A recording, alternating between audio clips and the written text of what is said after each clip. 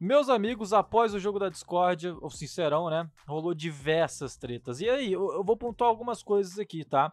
É, quem, to, quem torce pelo. Assim, quem gosta do Davi e torce pelo. E, e, e meio que torce também pelo Matheus chegar na final, desconsidera, tá? Porque o Matheus fez uma parada que eu achei péssimo, péssimo. Um amigo desse, quero longe.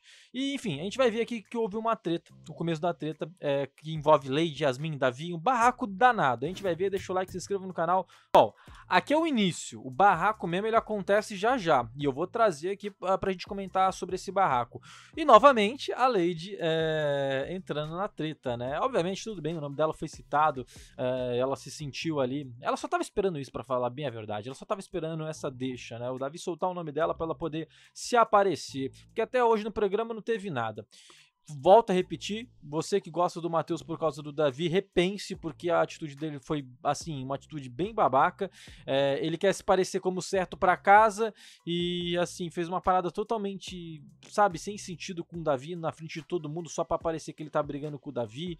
Assim, perdeu muitos pontos. para mim, é, é, além de ser planta, que eu já falei diversas vezes que ele é planta, não faz nada, ainda mete uma dessa, entendeu? Para que ele se dá bem com a casa. Uh, e teve muita treta. Yasmin, uma xingação do caramba. A gente vai trazer todos os momentos aqui pra gente comentar. Fique de olho no canal.